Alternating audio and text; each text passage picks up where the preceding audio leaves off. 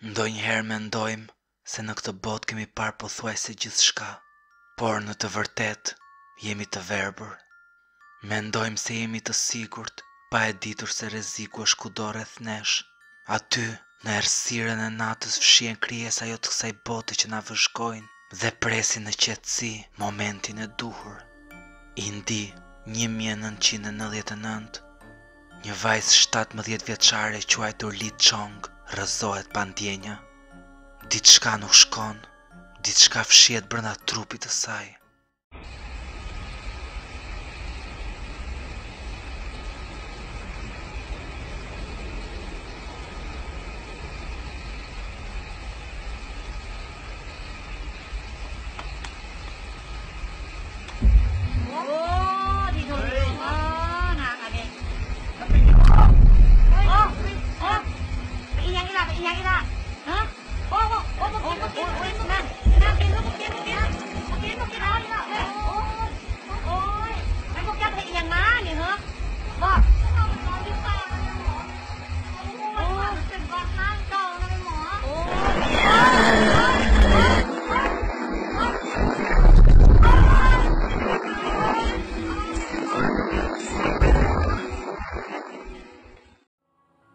Familjarët përpiqen me anë të riteve të tyre ta shpëtojnë, por krijesa brenda saj është më e fuqishme.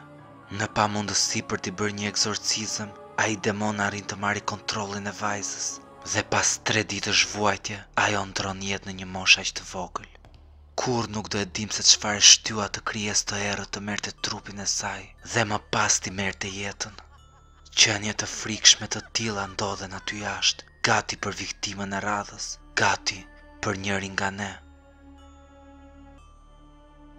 Japoni, dy mijë e katërmbëdhjetë, Disa miq po udhëtonin nga një qytet në tjetrin në orët e vona të natës, por kur errësira bie në tokë, krijesa të tmerrshme dalin nga thellësitë e saj.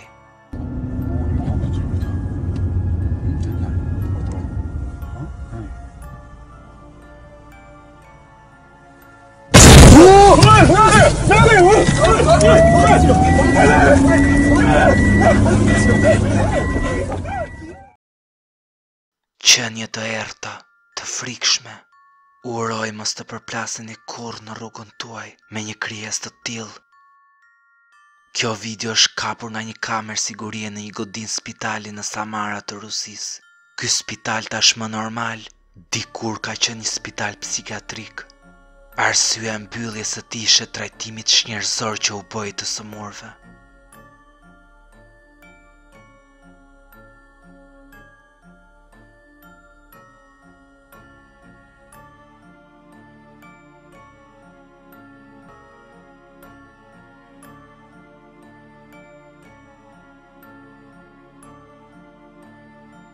Ajo çfarë ngjan si një hije e zezë, dukej sikur donte ta tërhiqte me vete viktimën. Për fatin e mirë të tij, arriti të shpëtonte dhe të ikte i tmerruar. Tani do të kalojmë te një grup alpinistësh të cilët ndodhen në qendrën e tyre duke biseduar. Diçka nuk shkon me pamjen e gruas me shami.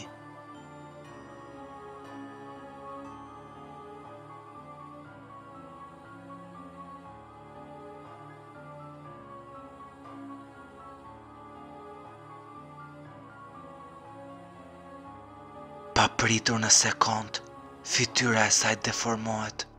Merr një pamje të tmerrshme jashtë realitetit tonë, një pamje e errët. Sigurisht ju mund të thoni se ishte reflekti i kamerës, por gjithashtu duhet të dini se pas tre ditësh ajo grua e quajtur Melinda Mendoza var veten.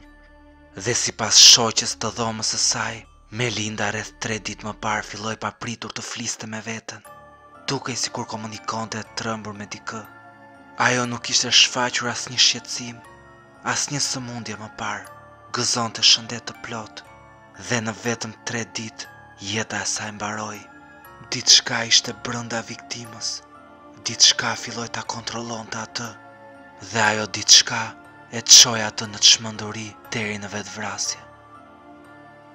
Shumë nga ne sot jemi skeptikë dhe nuk besojmë në këto gjëra, derisa vjen ai moment ku ne vetë bëhemi viktima, derisa vjen ai moment ku fillojmë të shohim vërtet botën si është, me gjithë errësirën e saj, më në fund nuk jemi më të verbër.